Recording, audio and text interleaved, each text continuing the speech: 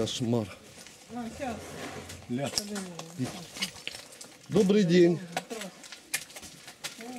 Кошмар. Ой, холодильники даже попростреливали.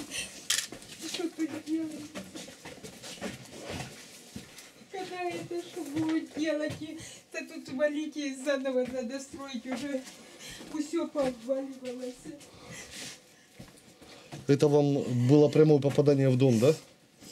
И да нет, вон даже вот это он, вот, бачите, это еще вот эта штука. Торчит Вон на мина, да? Не, не мина, ну, Хвостовик от мины до сих пор ну вот, да, что-то такое, вот до, да. до сих пор хвостовик от мины торчит здесь. Ну да, мы вот о, как-то вызывали, так они сказали, да, это не страшно, можете и сами вытянуть, вот этих вызывали мы.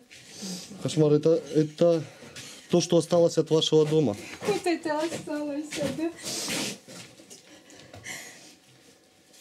Ужас. Просто ужас. Это, вот эти стенки, они все расшатанные, теперь уже ни гвоздя не забить, ничего нельзя, потому что жужелка, она сыпется, все валится.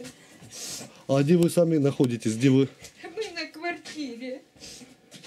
уехали Да, на я квартиру? на квартире.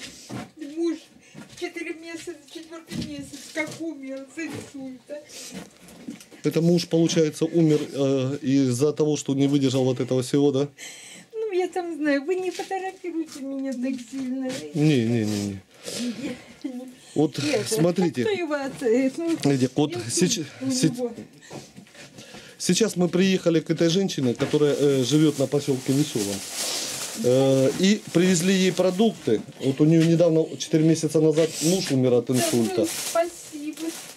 Спасибо. Это было благодаря одной женщине из э, Санкт-Петербурга. Есть такая Наталья Зорченко. Она очень сильно переживает за жителей Донбасса и всегда им помогает.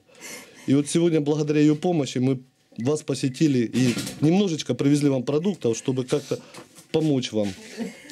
Огромное спасибо, Наташа. Огромное спасибо люди, которые... Спасибо, что еще есть люди переживают за нас. Ой, как жить? Дальше сколько можно уже бегать. Кошмар. Вот так люди живут на линии фронта.